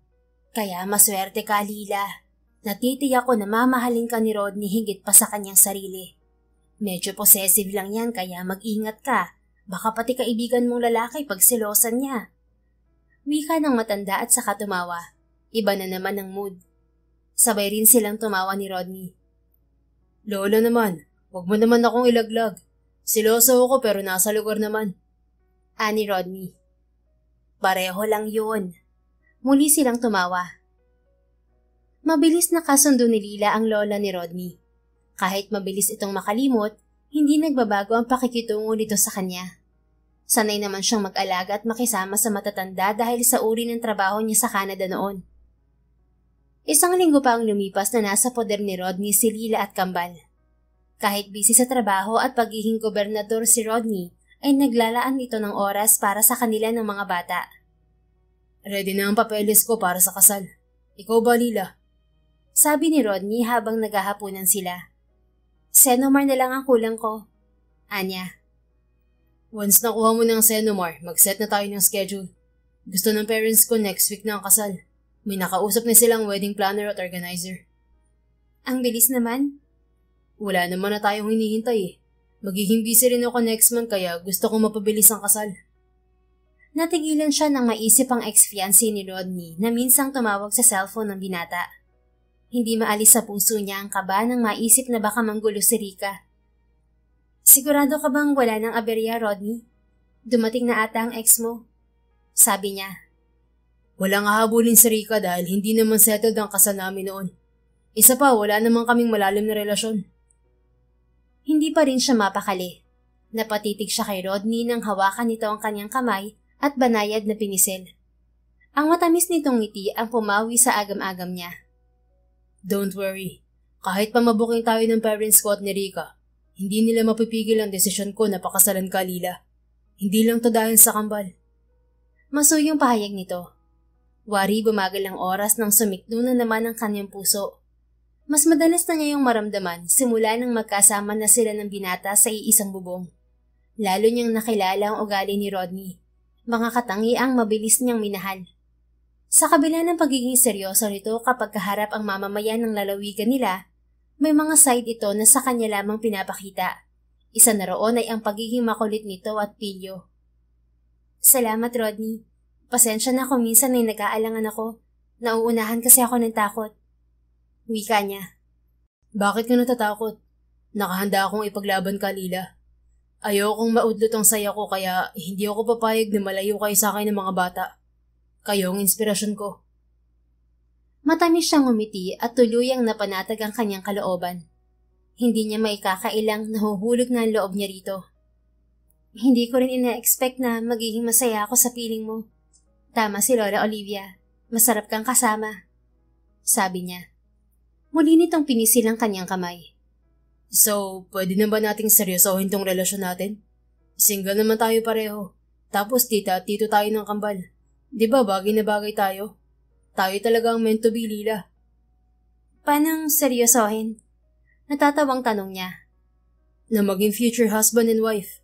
Kalimutan na natin ang deal. Bukod sa instant parents na tayo ng kambal, formal na rin ang relasyon natin. Sigurado ka na ba sa nararamdaman mo? Sigurado na ako, Lila. Unang kita ko pa lang sa'yo, gusto na kita. Alam ko na lalalim pa ang nararamdaman ko, kaya hindi ako nagsisisi sa desisyon ko.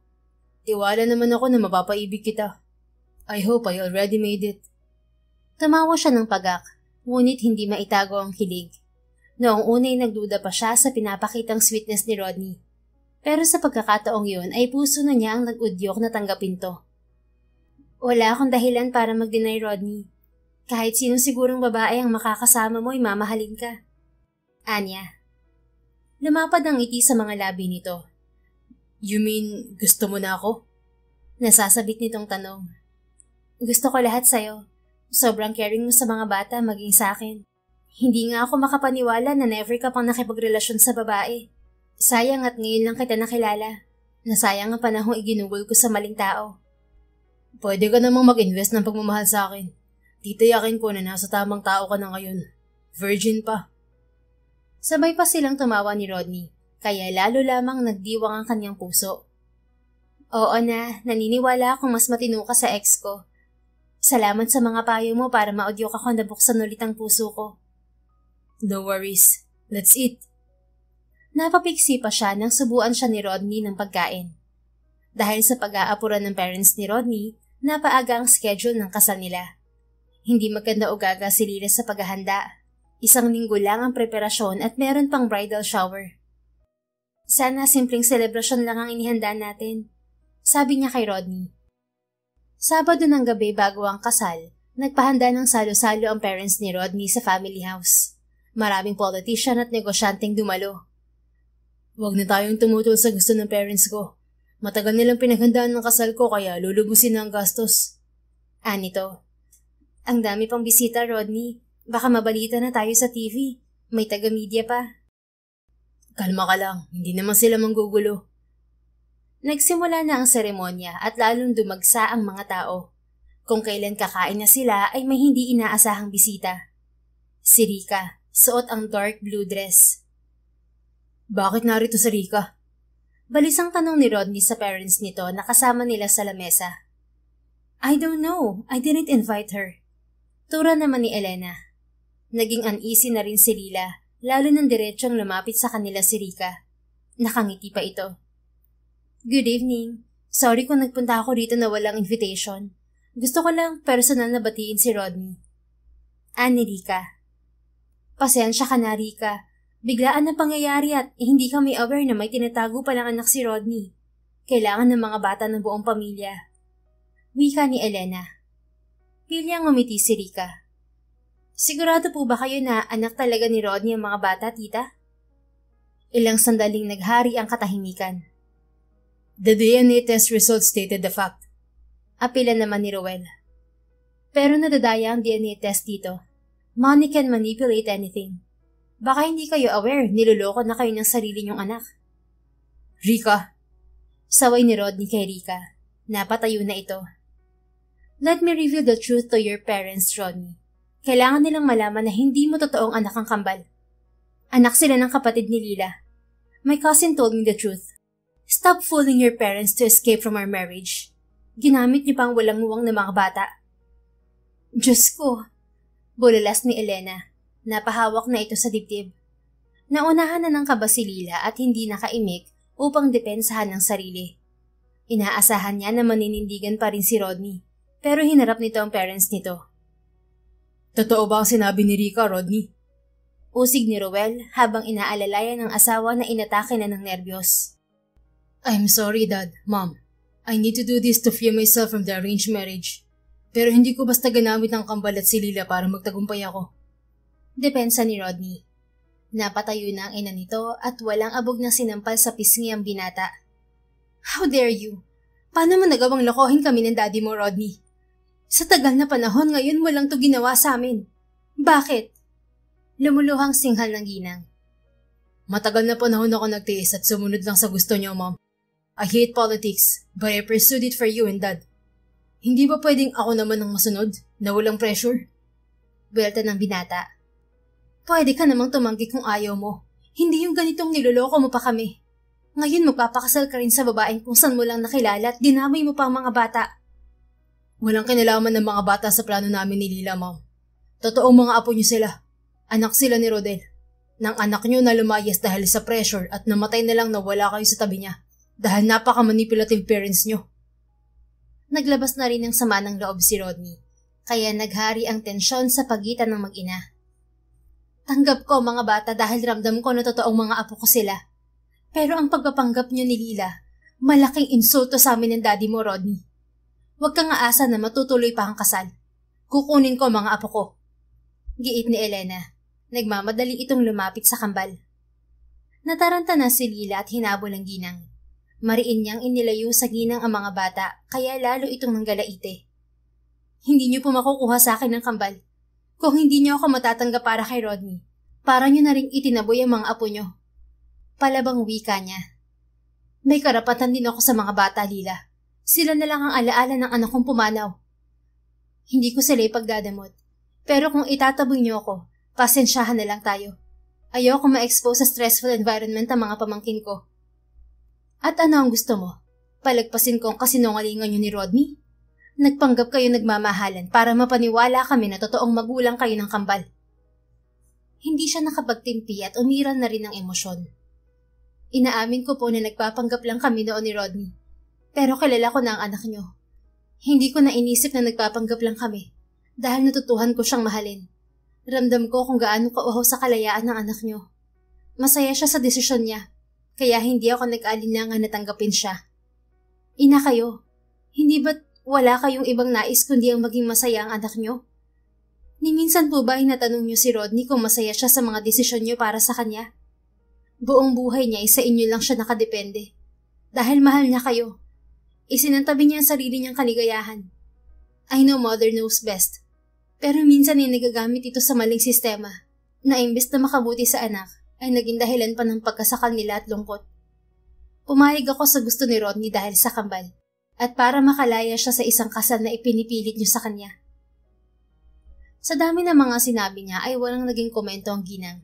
Sa halip ay tulala itong nakatitig sa kanya. Lumapit na sa kanila si Rodney at tinulungan siyang mailabas ng bahay ang kambal dahil nagsiiyakan na mga ito. Mukhang naramdaman din ng tensyon. Uuwi muna kami sa bahay, Rodney. Ayokong madami sa gulo ang kambal. Anya ng lula na sila ng kotse. No, you will stay in my house, Lila. Mariing pigil nito. Hindi mo ba nakita kung gaano ka-agresibo ang mami mo na makuha sa akin ng kambal? Ang bilis niyang nagalit, ni hindi niya pinansin ang mga sinabi ko. I can't blame my mom. Kakausapin ko siya kapag kalmado na siya. Uuwi na kami. Total ay hindi na matutuloy ang kasal. Ayusin mo na muna ang problema sa parents mo. Walang uuwi, Lila. Nagtaas na ng boses ang binata. Tumahimik siya at inalo ang isang bata na ayaw tumigil sa pag-iyak. Nakatulog lang ito saktong nakarating sila sa bahay ni Rodney. Hinatid lang sila roon ng binata at kaagad din itong umalis. Binalikan ni Rodney ang parents niya. Uminit na ang bumbunan niya nang madatnan si Rika na kausap ang kanyang ina. Bakit narito ka pa? Inis niyang tanong sa babae. You're so rude, Rodney. Para namang wala tayong pinagsamahan yan. Nakangiti pang sabi ni Rika. Umalis ka na bago ko pa makalimutan may pinagsamahan tayo. Rodney, awat ni Elena. Hindi niya pinansin ang ina. Walang magbabago kahit ginalo mo ang plano ko, Rika. Hindi pa rin kita mamahalin. Giit niya. Tumawa pa si Rika. I know. Concern lang naman ako sa parents mo na nauto mo. Pero mukhang hindi na mababago ang isip mo. Kaya hindi na rin ako magpupumilit pa. Napapagod na ako manlimos ng atensyon mo. Gusto ko lang malaman mo na sobrang sama ng loob ko dahil sa biglang pag-cancel mo sa kasal natin. At lalo akong nainis nang sabihin ng pinsan kong si Tristan na hindi totoong anak niyo ni Lila ang kambal. I felt betrayed. Pero wala rin naman akong karapatang masaktan dahil hindi mo naman ako mahal. At least amanos na tayo ngayon. Nagatungan ng inis niya, ngunit hindi na niya pinatulan si Rika. Nakaganti ka na. Now leave. Sabi na lamang niya. Aalis ako, hindi mo ako kailangan palayasin. Pasensya na sa eskandalo. Nagpaalam pa sa parents niya si Rika bago tuluyang lumisan. Nang lapitan naman niya ang kanyang ina ay nakaluklok na ito sa couch at humahagulgol. Tinabihan ito ng kanyang ama. Umaasa ako na masaya ka sa mga desisyon ko anak. Bakit tumahimik ka lang at kinimkim ang sama ng loob mo? Ibang-iba ka kay Rodan na prangka. Pinakita sa amin na labag sa loob niya ang desisyon namin. Humihikbing wika ng ginang. Mom, hindi ako si Rodel. Hanggat kaya akong magtiis, hindi ko kayo susuwayin. Naging masaya rin naman ako sa mga desisyon niyo para sa akin. Pero tumatanda na ako. I need freedom. Ibang usapan na kasi ang pag-ibig. Ilang taon nang ginugol ko sa pag-aaral ng abogasya, kaya hindi ko na natutukan ang sarili kong kaligayahan. Nung nakilala ko si Lila, na-realize ko na gusto kong pumasok sa malayang relasyon. Pero hindi mo mahal si Lila. Aminado ako na nagkasundo lang kami ni Lila na magsama para sa kambal. Pero hindi lang yung nais ko. Gusto ko si Lila sa simula pa lang. Pakakasalan ko siya dahil gusto ko at mahal ko na siya. Kahit anong tutol nyo, hindi nyo ako mapipigilan. Matutuloy ang kasal namin ni Lila. Walang katotohanan ang iniisip nyo na hindi ko mahal ang babaeng gusto kong pakasalan. Matiim na tumitig sa kanya ang ginang. Maya-maya ay muli itong napaluha at tumayo. Biglang yumakap sa kanya. I'm sorry. Nasanay ako na nakadepende ka sa desisyon namin ng daddy mo at wala kang reklamo. Kaya akala ko okay lang. Natakot din ako na baka matulad ka kay Rodel na bigla kaming iiwan. Anito. Malapit na ako dumating sa point na yan, mom. Pero ayaw kong bigyan kayo ng sama ng loob. Ito lang ang hinihiling ko sa inyo. Hayaan niyo ako mamili ng babaeng mamahalin ko. Aakuin ko ang pagiging ama ng kambal. Pero kailangan kasama si Lila. Hindi ako mabubuo nang wala siya. Tumango ang ginang nang dumistansya sa kanya. Wala akong problema kay Lila dahil nakikita kong maalaga siya sa mga bata. Gusto rin siya ng lola mo. Nag-aalala lamang ako na baka hindi kanya mamahalin at napipilitan lang siya makisama sa'yo para sa mga bata. Napangiti siya. Mom, hindi ko ibibiguin ni Lila. Lahat ng katangian ng babae na gusto kong maging asawa ay nasa kanya. Mahal ako ni Lila. Napaiyak na naman ang ginang. Bakit kasi nagsinungaling pa kayo? Wala akong balak na magsinungaling habang buhay, ma'am. Gusto ko lang masecure muna ang kasal namin ni Lila. Sorry kung padalos-dalos ako. Promise, wala na akong sikretong itatago sa inyo. Sige na, pinapatawad na kita. Basta ayaw ko nalang mauulit to. Puntahan natin si Lila at gusto ko siyang makausap. Sa oras ding yun ay bumiyahe sila patungo sa kanyang bahay kasama ang daddy niya. Nasurpresa naman si Lila nang bumalik si Rodney kasama ang parents nito. Napatulog na niya ang kambal nang tawagin siya ng binata. Pagdating niya sa lobby ay kaagad siyang nilapitan ni Elena at ni Yakap. Pasensya ka na, Lila. Nadala lang ako ng galit ko kanina. Paumanhin agad ni Elena. Sorry rin po, Mommy kung nagsinungaling kami ni Rodney. Naintindihan ko na. Kahit naman umamin kayo na hindi kayo ang parents ng kambal, hindi ko sila tatanggihan dahil anak pa rin sila ni Rodel. Salamat at inalagaan mo mga apo ko. Iniisip po kasi namin ni Rodney na baka hindi niyo tanggapin ang kambal dahil sa hinampo niyo kay Rodel. Ano ba kayo? Matagal ko nang pinagsisihan ng nangyari kay Rodel. Sinabi ko lang noon kay Rodney na wala akong tatanggaping apo mula kay Rodel kung mula sa mga bayarang babae. Marami kasing issue noon na may buntis na babaeng bayaran ng anak ko. Pero binawi ko na yon dahil sa guilt. Nung nalaman kong may nabuntis na babae si Rodel, pinahanap ko rin ng babae pero walang detalye kaya tumigil na rin ako. Hindi naman sinabi ni Rodney na kapatid mo pala ang nabuntis ni Rodel. Busy na kasi ako, ma'am. Kaya hindi ako updated sa mga anak ni Rodel nun. Sabad naman ni Rodney. O siya, tama na ang sisihan. Magpahinga na tayo dahil maaga ang seremonya sa simbahan bukas. Apila naman ni Rowell. Matapos ang usapan ay doon na rin natulog ang parents ni Rodney. Naging magaan at masaya ang seremonya ng kasal lalo't wala ng sikreto ang mag-asawa. Pagkatapos ng pag-iisang dibdib nila ay tumuloy na sila sa Baguio City kung saan ang venue ng honeymoon. Nangungulit pa ba ang ex mo, honey? Tanong ni Rodney nang makapasok sila sa hotel suite. Nakatutok si Lila sa cellphone at sinagot ang chat ni Tristan. Humingi ito ng tawad dahil sa pagbunyag nito ng sikreto nila kay Rika. Hindi, nagsorry lang siya. Anya. Mabuti naman. Kahit mag-eskandalo pa siya, wala na siyang magagawa. Kasal na tayo. Eh si Rika? Hindi na siya nagparamdam. Balita ko, nasa US na siya. Lumapit siya sa kanyang asawa at yumakap buhat sa likuran nito. Salamat dahil pinaglaban mo ako. Anas niya. Siyempre, mahal kita. Mababaliw ako kung mawala ka sa akin, Lila. Masuyo nitong turan. Pumihit ito paharap sa kanya at ikinulong siya sa mga bisig. Tumingala naman siya rito. Ready na ako na magkaroon tayo ng anak, mister. Kahit kambal din? Oo naman. Masaya kung maraming bata. Okay, let's start making our babies. Natawa siya pero napatili ng buhatin siya ni Rodney. Pumasok sila ng banyo at nagbabad sa bathtub. Walang abala sa honeymoon nila dahil naiwan ng kambal sa lola ng mga ito. Nasulit ng mag-asawang bakasyon. Dalawang buwan na nga nakalipas, pagkatapos ng kasal, ay nagbunga rin ang pagmamahalan nila. At sa paglipas ng panahon ay lalong naging masaya at makulay ang kanilang pagsasama. Lalo nung dumating ang kambal nilang babae lalong naging masaya ang bahay nila at mas lalo nilang minahal ng isa't isa dahil sa mga bunga ng pagmamahalan nila. The End If you enjoyed this story, please don't forget to like, subscribe, comment, and share. Your support helps us reach more people and spread the love. Thank you for tuning in, and we're looking forward to seeing you again soon. In the meantime, please take care and may God bless you always.